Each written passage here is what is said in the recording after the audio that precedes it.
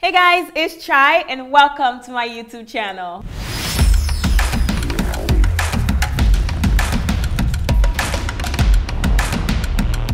A quick backstory before I continue.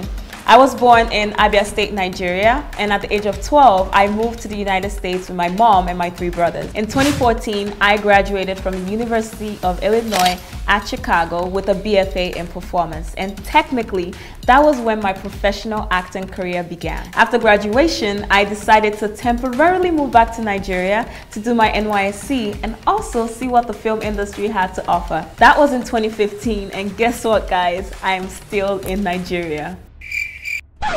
Most people know me as the characters I play, but this is a little bit different.